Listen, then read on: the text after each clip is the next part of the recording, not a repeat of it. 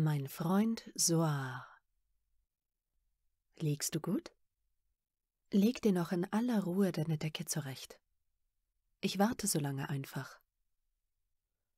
Denn Entspannung sollte man nicht versuchen zu erzwingen. Und wenn du nun bereit bist, möchte ich dich zu einer Reise einladen. Einer Reise durch das Wasser. Einst konnte ich nämlich eine außergewöhnliche Bekanntschaft machen. Sein Name ist Soar und er ist über 1000 Jahre alt.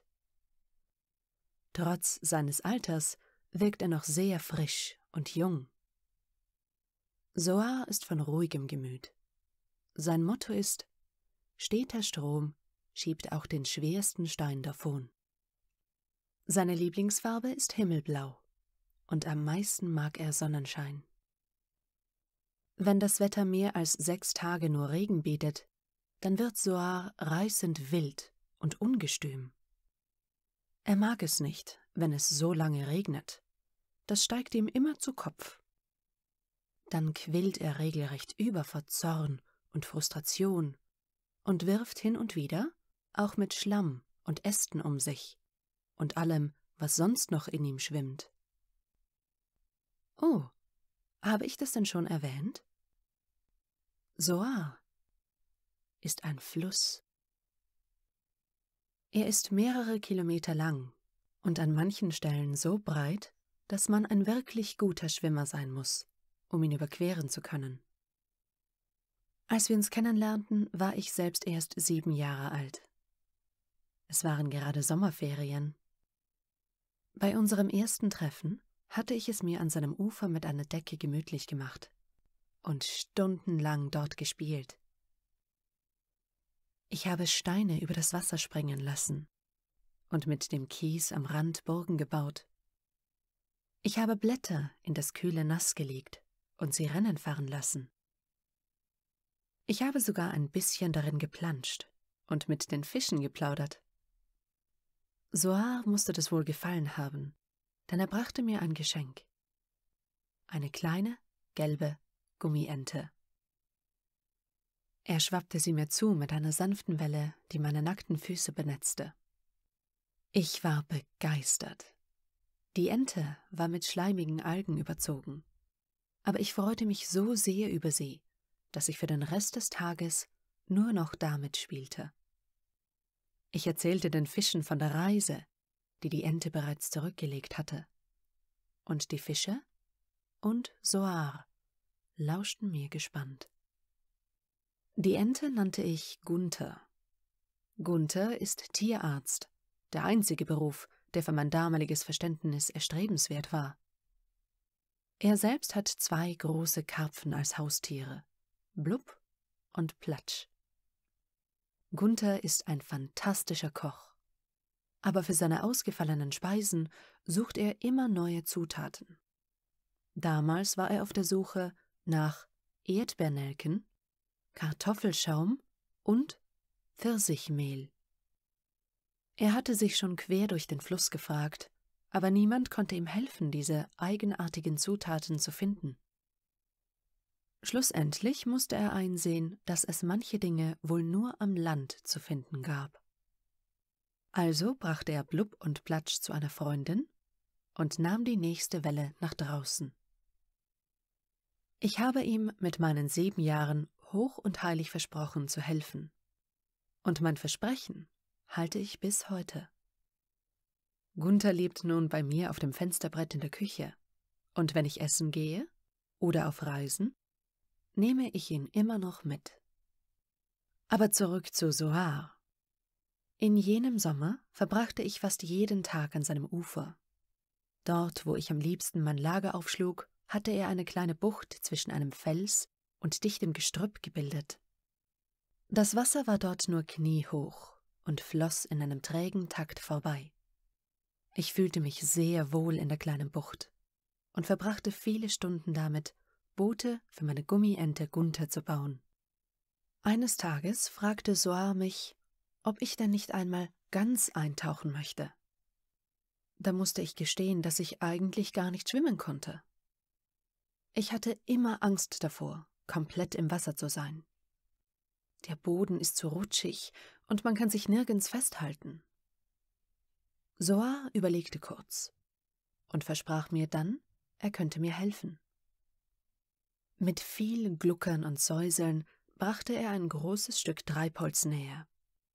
Es war ein gewaltiger Ast, so groß, dass ich mich darauf legen konnte. Die Oberseite war von der Sonne gebleicht, die Unterseite glitschig und dunkel.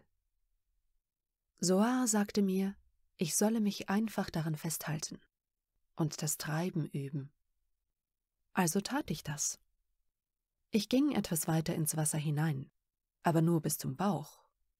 Dann hockte ich mich langsam hin, bis nur noch mein Kopf herausschaute, und hob probehalber meine Beine vom Boden ab.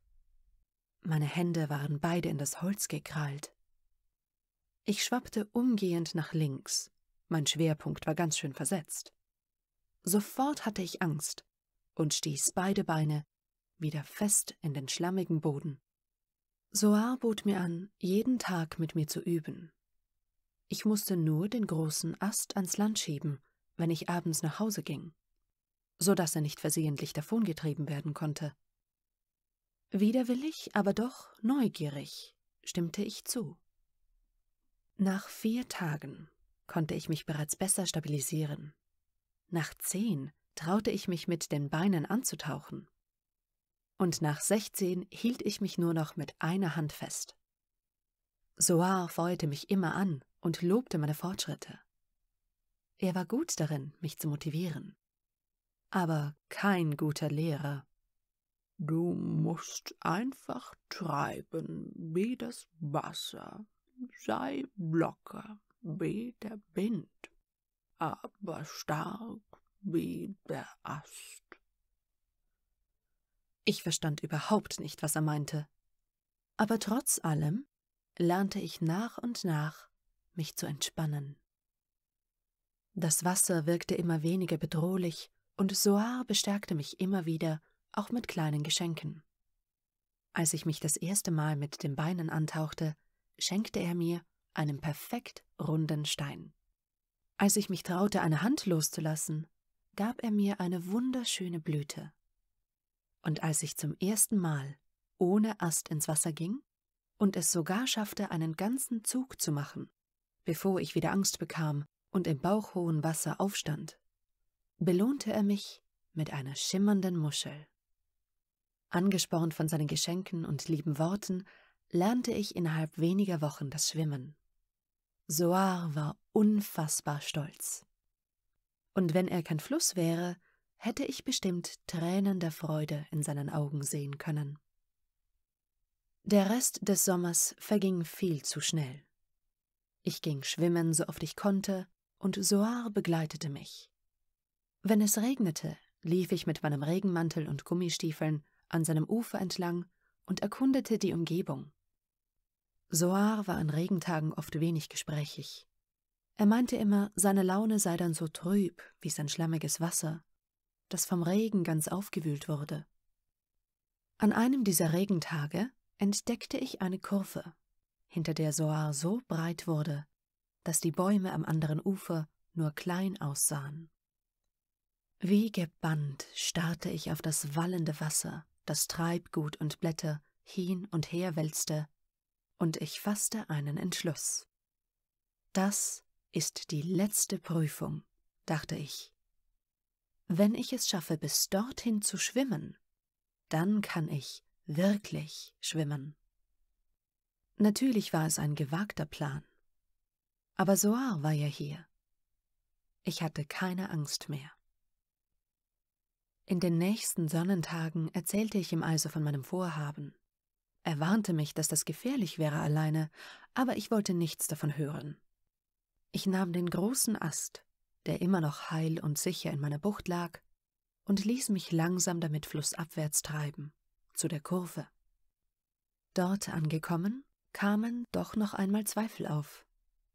Es war wirklich weit. Ich holte tief Luft fasste all meinen Mut zusammen und schwamm los. Die ersten paar Meter waren kein Problem, Meine Beine schlugen kräftig aus und meine Arme schoben sich durch das Wasser, als wäre es ein leichtes. Aber bald wurden meine Arme müde. Ich wurde langsamer. Meine Beine fühlten sich immer heißer an vor Anstrengung. Ich war circa bei einem Dreiviertel der Strecke angekommen, als mich meine Kraft ganz im Stich ließ. Da hob mich Soar an und drehte mich vorsichtig um, bis ich auf dem Rücken lag. Ich streckte Arme und Beine von mir und ließ mich flach auf ihm treiben. Das war schön. So hatte ich davor noch nie im Wasser gelegen. Der Himmel war klar und die Sonne kitzelte meine Nase. Ich entspannte mich wieder und vertraute ganz auf Soar. Meine Kraft kehrte langsam in meine Glieder zurück. Ich drehte mich wieder auf den Bauch und schaffte sogar noch die letzten Meter zur anderen Seite. Dort angekommen, hiefte ich mich schwer atmend aus dem Wasser und blieb erst einmal ein bisschen liegen.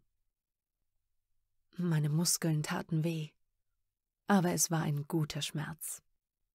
Ich stieß einen lauten, triumphierenden Schrei aus. Ich hatte es geschafft. Ich hatte es geschafft. Ich hatte der langen Strecke getrotzt.